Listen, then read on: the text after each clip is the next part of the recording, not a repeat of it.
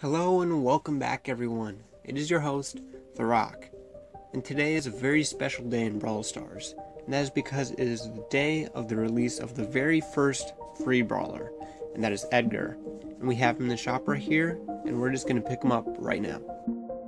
And there he is, the very overpowered and extremely close range brawler that absolutely everyone is going to be playing. Well, let's get to maxing him.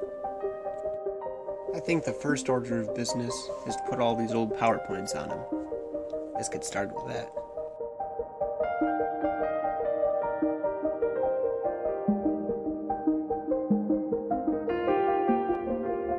The last one here brings us to 1000. Time to switch over to the boxes.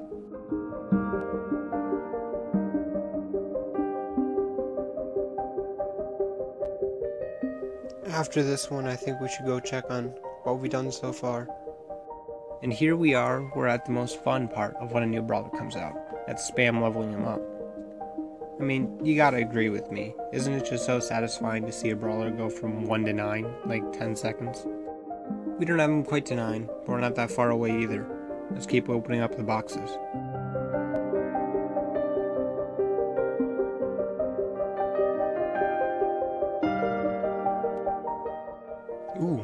Star power. Nice. And a gadget. Let's go.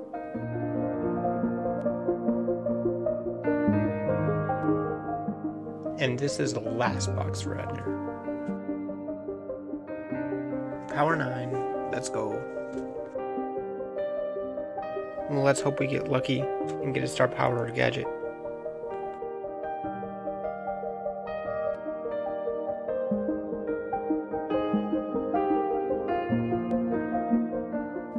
Nice gadget, but not the one we're looking for.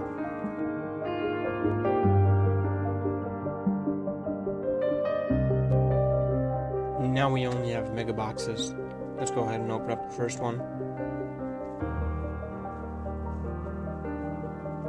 Ooh, we did get something. Is it gonna be a star power gadget though? Wait. Wait, no! No way! Let's go! We got Amber! No way, that's insane! Oh my gosh. Like, before this box opening, I thought, like, maybe we could get Byron because he's my only mythic left. I mean, we had a decent chance in that, but a legendary? Oh my gosh, let's go! That was an insane pull, but we have to get back to the boxes, see if we can get a star power gadget. Anything here? Nope. Just Amber PowerPoints. We're gonna get a lot of PowerPoints for Amber from this too. So this one too, no, nothing in this one. I believe we only have two left now. Nothing in that one. And the last one, fingers crossed we get something.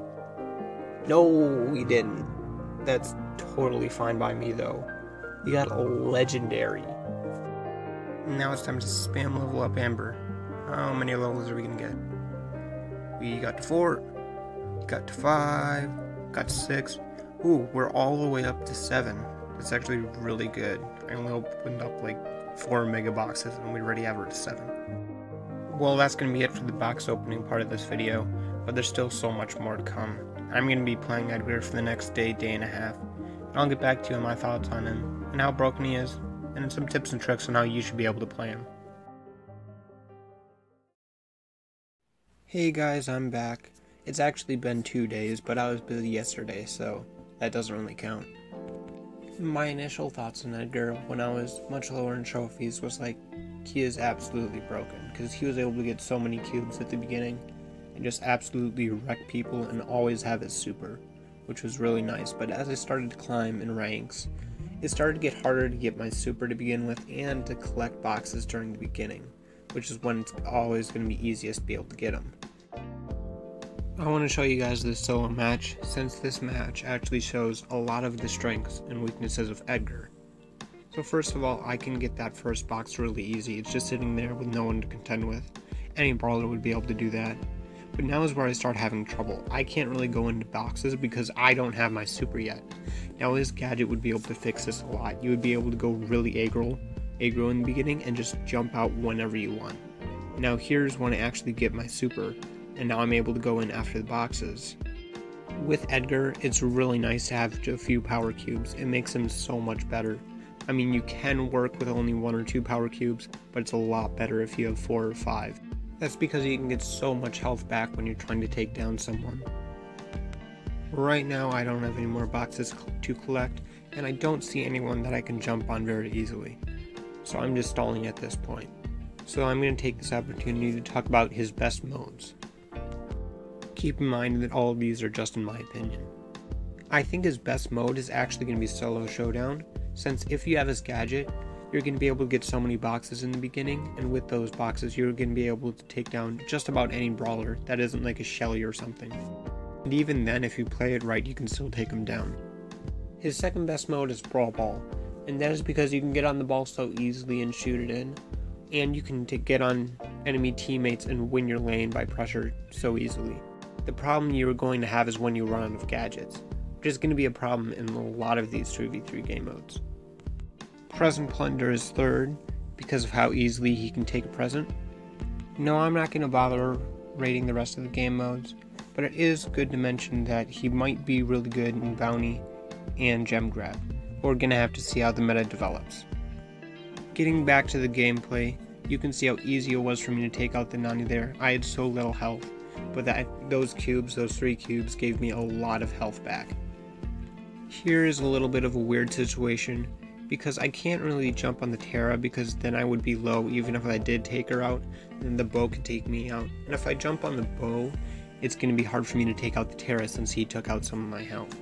But I'm going to try going for the Bo anyway because he just wasted a whole bunch of shots and I just barely get out of range of that Bo mine. And that health that I just got back from the Tara might have saved me, and that gives me the win.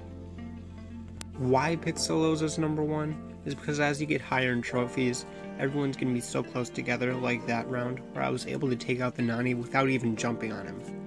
Edgar's versatility in solos and also his high DPS with close range, which your close range isn't actually going to matter that much when you get closer to the end of the match, is going to help him a lot. One more thing that makes Edgar better in solos than other game modes is that he probably will not run out of gadgets. That's going to be a huge problem in 3v3. Thank you guys so much for watching my video this far. You have no idea how much that actually helps my channel. And I really hope that you actually learned something from this video today and also had fun with that box opening and that epic poll. I'll see you guys in the next one.